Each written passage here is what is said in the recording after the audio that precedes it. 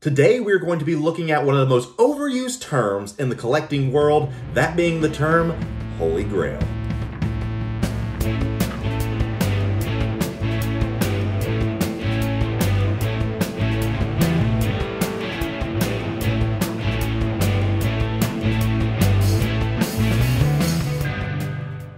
That's right, today we are looking at the term Holy Grail, one of the most overused terms in all of collecting. And before we do so, as I've told you, we are on pace for 2,021 subscribers. That's what we're focused on. That's what we're aiming for for the end of this year. And as of right now, we are over 800, which is awesome. So thank you so much for your support. If you've not done so already, go ahead and hit me with a presumptive like. Go ahead and give us a follow, give us a subscription, turn on your notifications so that you know when all this amazing content drops. But without further ado, let's get into, as I said, one of the most overused terms in the collecting world, that being the term grail. And I think it's important for us to learn kind of where this term comes from and what it's all about. Now, giving a quick history lesson, the term Holy Grail is traditionally thought to be the cup that Jesus used at the Last Supper. Now, this has made its way into pop culture, obviously with Indiana Jones looking for the Holy Grail, and all throughout history, people have been trying to find this legendary artifact.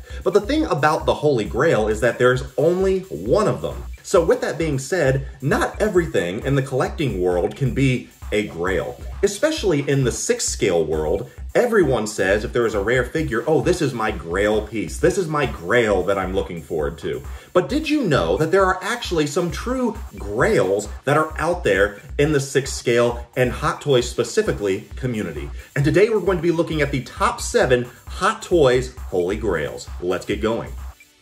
Since Hot Toys released their first figure in 1999, they've become some of the most sought after and popular six scale collecting that's available for us out there. Before they were branded Hot Toys, they were known as famous types. They were unlicensed, unbranded, and there were only 500 pieces of each of these made. They were made between 1999 and 2003, and we were able to get Ethan Hunt, able to get George Lucas, and Neo from The Matrix. These three pieces are some of the first out there, and still it's not the greatest of quality. You can score some of these pieces for around 300 to 800 bucks on the secondary market. As I just mentioned, the first ever Hot Toys figure was Ethan Hunt, Tom Cruise from Mission Impossible. The very first official Hot Toys branded figure was once again Tom Cruise, this being Maverick from Top Gun. This figure was limited to 5,000 pieces, and as was Hot Toys' reputation at that time and today, it of course sold out. Now, although it was labeled Hot Toys, they still did not have the licensing or the branding for it, so it was known as the Pilot. As you can imagine, this is a very scarce figure, but despite that, being able to pick this up for around $200 on the secondary market because of the historical significance, I think is quite the steal. Next up is Hot Toys Billie Jean Michael Jackson, released in 2009. While this is not the first Michael Jackson figure or the best Michael Jackson figure, it was released, as I said, in 2009, right around his death. And so naturally, collectors did what they do and snagged those up as quick as they became available. Now you can happen to find them if you're lucky on the secondary market for around $1,000, but a couple of my honorable mentions would be the other Michael Jackson figures because I think they're a little bit better overall and give you a little bit better value. It is generally argued that the Michael Jackson bad version is the best of the lot, but the Thriller version, which comes with two different bodies, as well as two different head sculpts, as well as the Beat It version, are the superior figures. Next up on the list comes from the Alien vs. Predator franchise, that being the Scar Predator 8 Ani-Com exclusive model kit released in 2006. Although not strictly an action figure, it remains one of Hot Toys' most popular products. The MMS-18 Scar Predator figure was released only at the convention and around only 200 of these were made. If you're lucky, you can find them and nab them for around a thousand, but I've seen some going for over $2,000.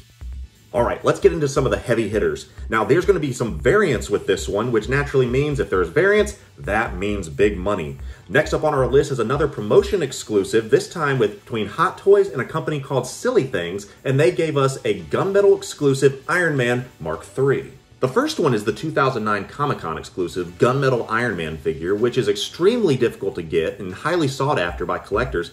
However, the more collectible of the lot is the far more rare version, that being the partnership with Silly Things. Hot Toys and Silly Things collaborated to make a much smaller batch of this variant, and that's the one that brings in the big money. From what I can gather, only 300 of these special promotional pieces were made, and they are going to bring you a pretty penny coming in at around $3,000. Vito Corleone, The Godfather, is one of the next ones on our list, and while released in 2009 and the original figure is a tough get, in 2011 they reissued this figure to help with tsunami relief. These charity figures were apparently limited to only 20 pieces with the following upgrades and changes a better head sculpt, better old looking man hands, his beloved cat, and much better articulation and tailoring. If you are lucky enough to find one of these special figures, you're going to be paying in the neighborhood of $10,000 for this special figure. And finally, let's bring it home with the grail of grails in the Hot Toys community, and who else would it be than their number one moneymaker, Iron Man. In 2012, Hot Toys released two versions of the Mark VI Iron Man figure for the new Avengers movie. The first was the movie promo edition, and that was limited to around 3,000 pieces worldwide. The second figure was a joint promotional edition with 7-Up Hong Kong. The figure featured a light-up base, and if you look carefully between the two, you can see that this one has a little bit of a different hairstyle. The figure was limited to only 16 pieces worldwide and were available exclusively in Hong Kong. So naturally, the market is going to be much, much smaller on this one. If you are able to nab this incredible, rare, holy grail of Hot Toys, you are going to be expected to pay around $35,000 for this special Iron Man piece. Well, that's going to do it for the Hot Toys Holy Grails. I hope you've enjoyed this video, a little bit different take, but I think it's important to know what's really out there so that we can better assess our current collections. Not everything is a grail out there. But if there's something that means something to you and it is special to you, of course, collect what you like, collect what you want, and collect what you love. Without further ado, as I've said, we're going to wrap it up here. But if you've not done so already, hit us with a like, hit us with a subscription. As I said, we're pushing forward to 2,021 subscribers. I think we're going to get there really soon. But the next video on this list, which you will not want to miss, is our special collaboration with my buddy Anthony as we do a video vlog of the ICCC in Nashville. It's going to be awesome. You won't want to miss it, and I will see you in our next video.